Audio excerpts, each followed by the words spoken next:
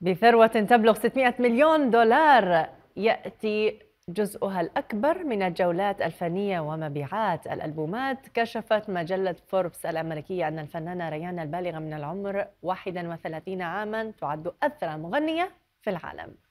المجلة أوضحت أن ريانا جنت ثروة تتخطى تلك التي حصدتها كل من مادونا وسيرين ديون فضلا عن بيونسي والتي بات زوجها جاي زي أول ملياردير في مجال موسيقى الراب.